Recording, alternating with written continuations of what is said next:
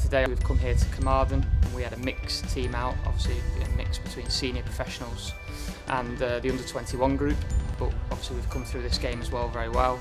Uh, another clean sheet, uh, another win. The senior players playing today were a great example for the under 21 players, the younger players, helping them out there on the pitch. You can hear them talking to them, which is great if you're a younger player, you're only going to learn from that. So.